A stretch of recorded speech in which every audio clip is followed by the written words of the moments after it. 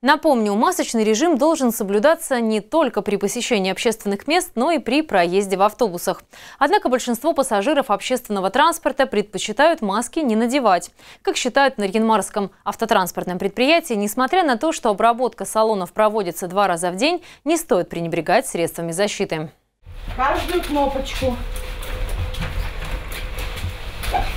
Прежде чем выйти в рейс, каждый автобус проходит обработку дезинфицирующими средствами, рекомендованными Роспотребнадзором. Проводится обработка поручней, сидений, окон и места водителя. Да, два раза в день э, обрабатывается то рецептом, всякими дезсредствами. Ну, обрабатываются поручни, ручки два раза в день обязательно. Один автобус.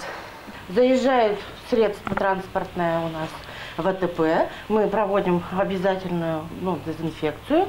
Обязательно э, он уезжает. Следующий автобус заезжает. И вот так вот ну, у нас такой поток Проводить обработку общественного транспорта два раза в день было решено после того, как у одного из водителей автобуса была выявлена коронавирусная инфекция. Автобусы у нас и ранее обрабатывались. В общем-то, мы даже старались вот пик э, пандемии, так сказать, обрабатывали их практически каждый час. Здесь на конечной у нас морском порту и в искателях дежурные уборщики. А, то есть, как только свободное время у водителя появлялось, они обрабатывали поручни, места, где более там, пассажиры держатся за ручки и все прочее. Несмотря на рекомендации надевать защитные маски во время проезда в общественном транспорте, в основном соблюдают меры предосторожности пассажиры старшего возраста. Ну, я в маске езжу.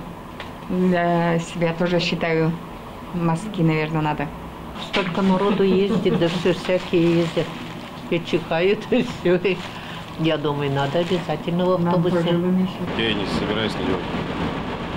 Я не, просто не очень сильно верю в это. Вот и все. Это мое личное мнение.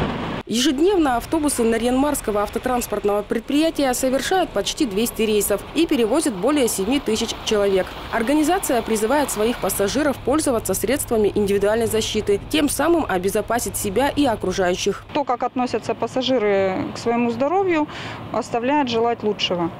Потому что ну, большинство большинство, хотя в СМИ сейчас уже есть информация, что есть заболевшие у нас, вот, но ну, 90% из э, всех пассажиров это все без масок ездят. Поэтому очень бы хотелось, чтобы люди относились как-то с пониманием и обезопасили не только себя, но и окружающих. Масочный режим обязателен для кондукторов и водителей ПАЗов.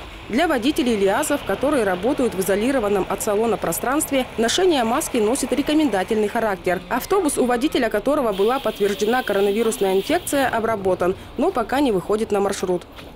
Александра Литкова, Владислав Носкин, телеканал «Север».